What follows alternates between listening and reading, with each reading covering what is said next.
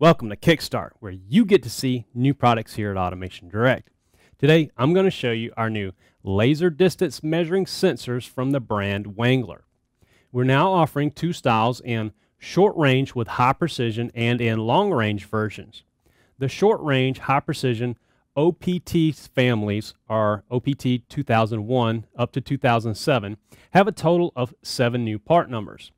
They have analog and switch outputs with ranges from 30 millimeters to 660 millimeter and resolution down to 8 micrometers. To put this into perspective, a business card thickness is 305 micrometers and a hair is 17 micrometers. These will read down to 8. The 2007 models are a low-cost selection with switching outputs only and come in only a Class 1 laser. Now the OPT short range high precision sensors have speeds of up to 1500 scans per second. They come in class 1 and class 2 laser options. Now here we have the new long range distance measuring sensors in the 2010 to 2015 families with distances of 3 meters up to 10 meters. We also have a low cost model in the 2010 with switching outputs only and come in only a class 1 laser. The 2011 to 2014 models come in Class 1 and Class 2 laser options. The 2015 model is a retroreflective with ranges up to 100 millimeters and does require the use of a reflector.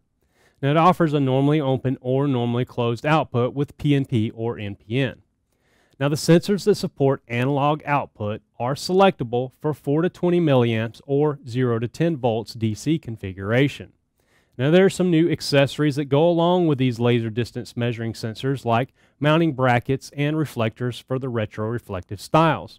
Now all of these laser distance measuring sensors require a quick disconnect cable, so don't forget to pick up one of these. You can find the agency approvals and the specs for these new Wenglor distance measuring sensors on our website at automationdirect.com. And don't forget, we sell other styles of sensors like level sensors, ultrasonic sensors, capacitive, inductive, photo sensors, and all of the cables and accessories that go along with them. Check back with us often on Automation Direct's websites or on youtube.com slash Automation Direct for more Kickstart videos. And if you're watching with us today on YouTube, please let us know what you think about these new Wenglor laser sensors or how you plan to use them in your next application by dropping us a comment down below. Thanks for watching, and we hope to see you again soon.